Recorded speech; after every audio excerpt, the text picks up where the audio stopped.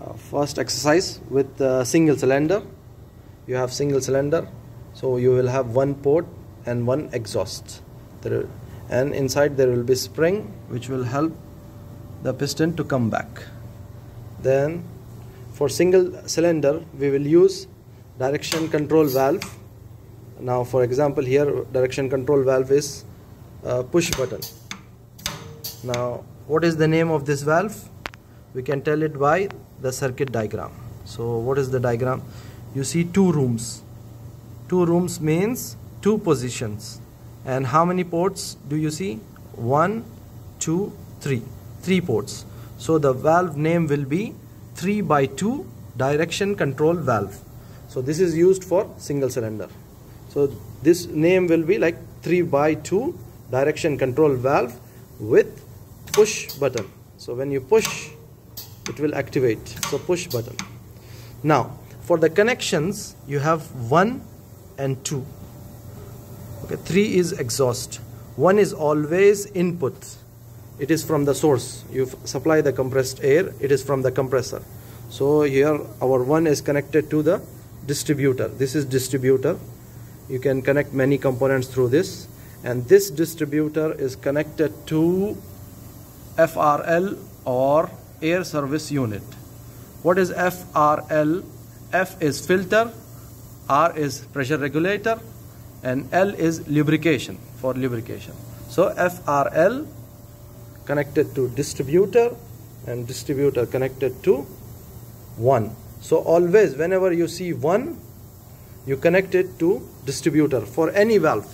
Like you have so many valves here. Whenever you see 1 you directly connect it to distributor wherever it is. And the even numbers like 2 4 6 8 so on they will be output. So they are output. 1 is input and 3 and 5 odd numbers will be whole numbers will be exhaust or 1 is always input.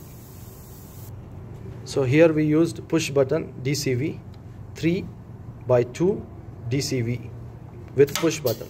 Now we'll change it with another uh, direction control valve. Both of them are same but the operator is different. Here we have selector switch. So 3 by 2 direction control valve with selector switch. Now we'll change it. How it will work we'll see. Again direction control valve with selector switch so the operator changed. Function will be same but the operator changed. So based on the purpose or application you will change the valves whatever uh, function or application you are looking for. So both the direction both of them are direction control valve. If you look from outside they look same. But if you go in detail look at the circuit diagram you will see the difference. So what's the difference? Here one is directly connected to two without any operation. Here you have to operate the valve to make it connected from 1 to 2 so what will happen if you use this valve? So this valve it has two rooms and three ports. So 3 by 2 direction control valve with push button. But the difference will be here it is normally open this one is normally closed. So one is not connected to two so we say normally closed and this one one is directly connected to two so normally open. So what will happen? If you open the you see the piston moves automatically. So when you press the button piston will come back.